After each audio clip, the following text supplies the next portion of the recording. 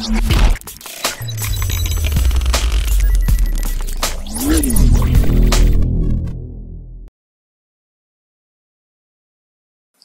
Friends இன்னைக்கு நம்ம இந்த வீடியோவில் என்ன பார்க்க போகிறோம்னா ராயல் சேலஞ்சர்ஸ் அணியை பற்றி பார்க்க போகிறோம் இந்த அணி பெங்களூர் அணியை சேர்ந்தது. உங்களுக்கு நல்லாவே தெரியும்.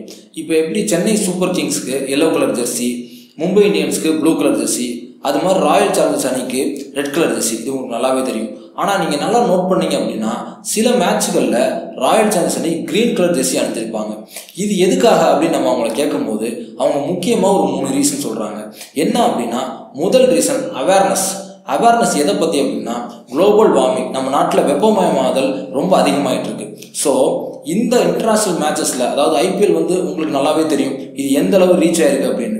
இந்த கேம்ஸில் இதை நம்ம அவேர்னஸ் கிரியேட் பண்ணும்போது நல்ல லெவலில் ரீச் ஆகும் அப்படின்னு அவங்க நம்புகிறாங்க செகண்ட் திங் என்ன அப்படின்னா அந்த ஜெர்சி எதனால் மேக் பண்ணப்பட்டது அப்படின்னா அந்த கிரவுண்டை சுற்றி உள்ள பிளாஸ்டிக் பாட்டில்களாலையும் ஃபைபர்ஸாலையும் மேக் பண்ணப்பட்டது.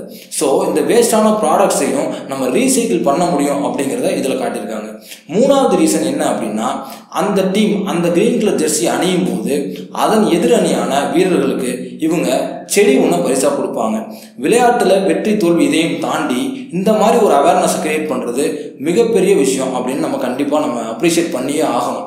இது போன்ற விஷயங்களை மற்ற அணி உள்ள வீரர்களும் செஞ்சாங்கன்னா கண்டிப்பாக இது நம்ம உலகத்துக்கு ரொம்ப நல்லதாக அமையும் அப்படின்னு சொல்லி நம்பலாம்.